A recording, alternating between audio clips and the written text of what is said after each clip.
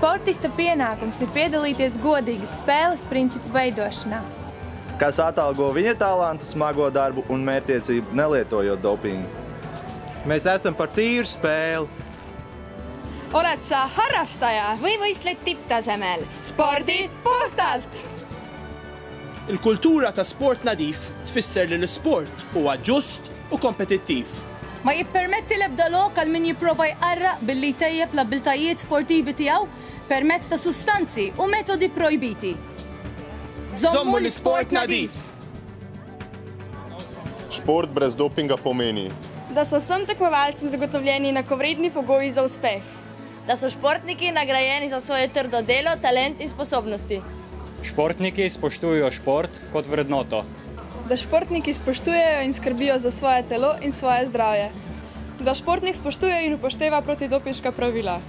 Da razumejo pomen testiranja, ki na tak način ščiti čiste športnike in predvidi sankcije za tiste, ki goljufajo.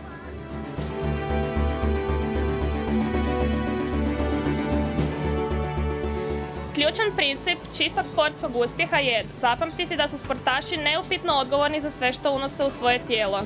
Nije bitno koriste li doping namjerno ili ne. Ukoliko test na zabranjene substance bude pozitivan, prijetim izbacivanje iz svijeta sporta zauvijek.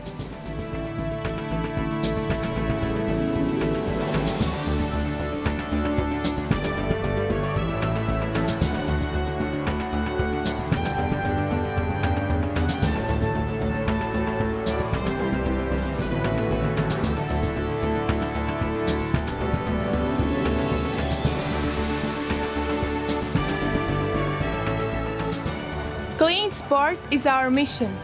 Athletes have the right to compete in sport knowing that they and their competitors are clean. We, as anti-doping ambassadors, are here to spread the knowledge about dangers of doping among young athletes.